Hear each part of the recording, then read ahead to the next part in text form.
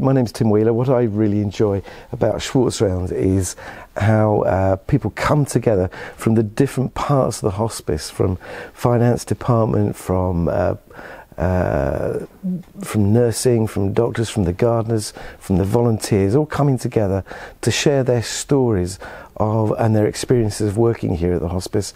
It's a very supportive and very non-judgmental atmosphere, and it's about staff development.